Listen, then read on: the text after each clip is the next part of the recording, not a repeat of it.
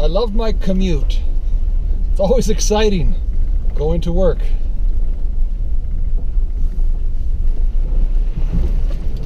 Especially if you don't know if you're going to get there.